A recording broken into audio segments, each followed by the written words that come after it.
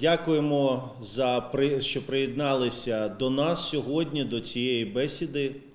Понад вже три місяці наша країна витримує жорстку і неспровоковану російську агресію. Весь світ бачить, як російські окупанти масово вбивають наших людей, катують та гвалтують чоловіків, жінок і навіть дітей. Вони нищать наші міста та руйнують інфраструктуру.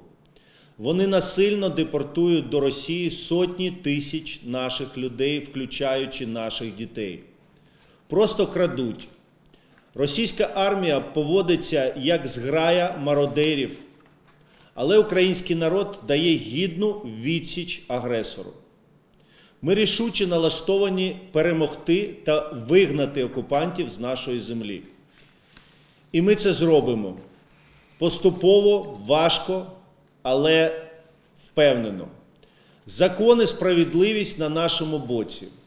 Про це яскраво свідчить ухвалена 2 березня цього року резолюція Генеральної асамблеї ООН, яка вимагає від Росії негайно припинити незаконне застосування сили проти України та вивести всі свої війська. Ми надзвичайно вдячні країнам Ради співробітництва арабських держав Затоки за ту підтримку е, нашої країни і цієї резолюції.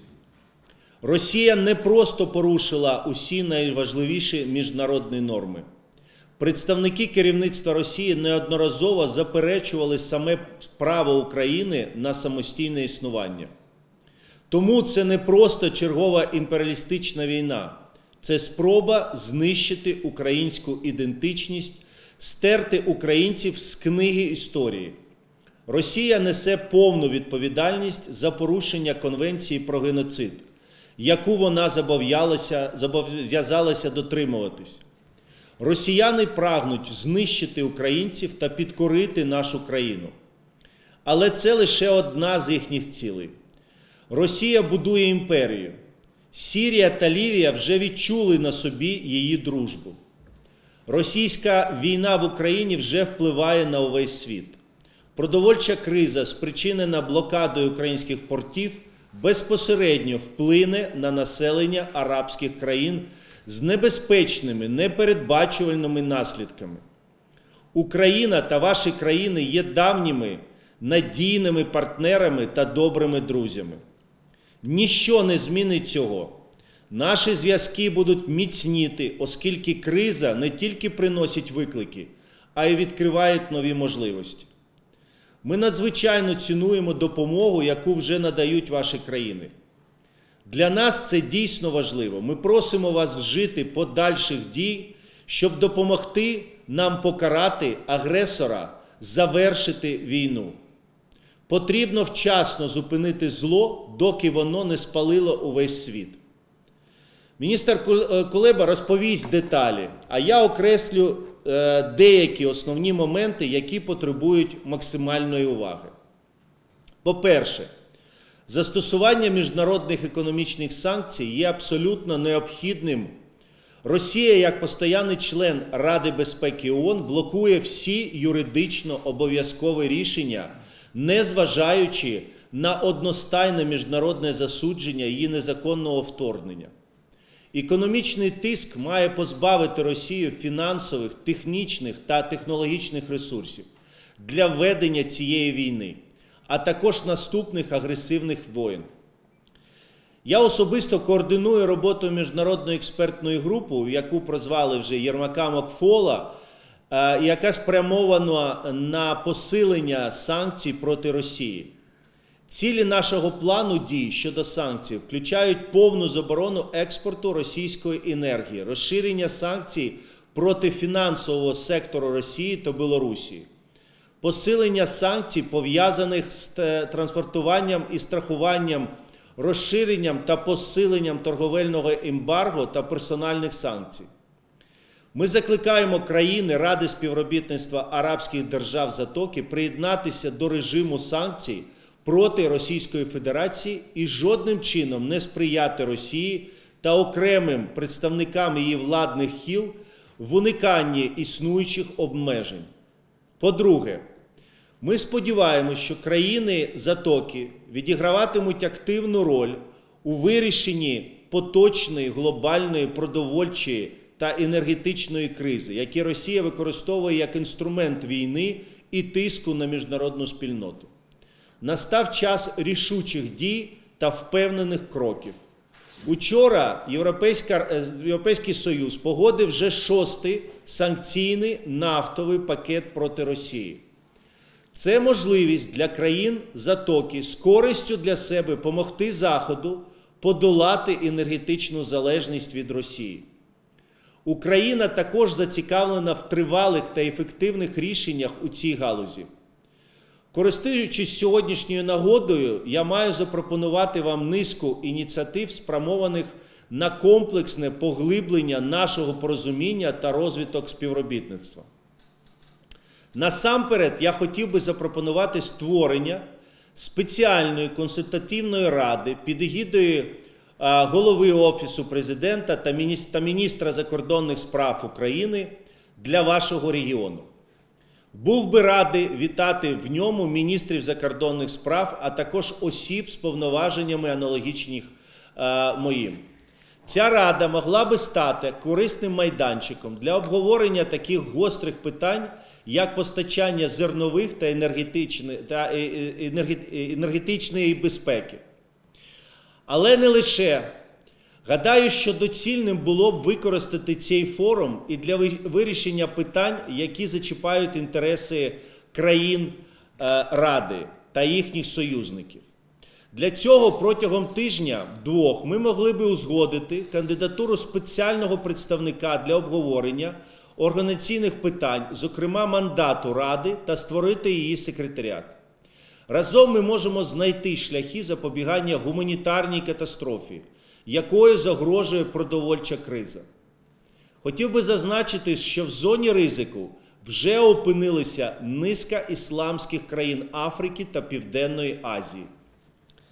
Окрему увагу хотів би приділити питанню інформаційного обміну. Україна хоче стати відкритішою та зрозумілішою арабському світу. Тому ми готові сприяти відкриттю корпунктів арабських державних телекомпаній в наших країнах, в нашій країні. Ми забезпечимо їм належний рівень безпеки. На нашу думку, Європу НАТО засереджена на собі. Тому Україна пропонує арабському світу спільну роботу над розширенням її горизонтів. Зокрема, за посередництва, за посередництва інструментів м'якої сили, які надає телебачення. Наступна моя пропозиція певною мірою є продовженням попередньої. Криза та війна це завжди можливість проявити гуманізм. Ви знаєте, Україна багатоконфесійна та віротерпима держава. Ми вважаємо справедливим, щоб червоний півмісяць був представлений у ній на тому ж рівні, що й Червоний Хрест. Ще одна пропозиція стосується фінансів. Україна готується до запуску Національного суверенного фонду. Аграрна промисловість та земельні банки мають стати провідними його активами. Пропонуємо вашим суверенним фондам, інвестиційним фондам співпрацю в цій та інших галузях. Перейду до третього пункту. Разом з колишнім генеральним секретарем НАТО Андерсоном Фок Расмусоном ми створили консультативну групу, яка надавати пропозиції гарантії щодо гарантій безпеки для України. Ці гарантії включатимуть розширення оборонного потенціалу України сучасними озброєннями та військовою технікою, обмін розвідувальними даними та інформацією, е, фінансову допомогу Україні, превентивні санкції у разі реальної загрози нової агресії. Також йдеться про політико-дипломатичну підтримку України, у тому числі глибоке включення України у багатосторонні формати, що покращать її інтеграцію з міжнародною спільнотою. Ми запрошуємо провідних діячів в сфері безпеки, політики та дипломатії з ваших країн долучитися до діяльності цієї групи.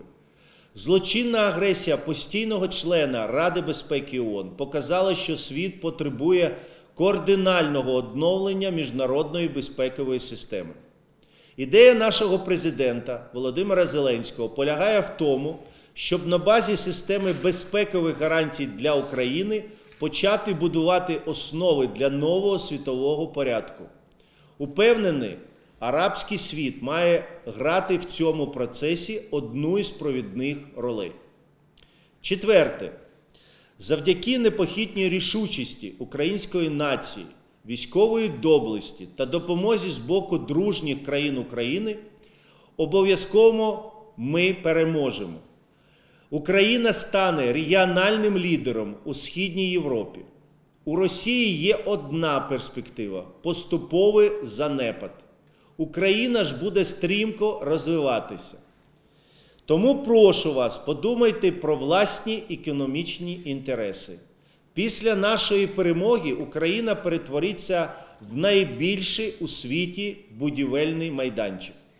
І ми запрошуємо вас долучитися до цього процесу.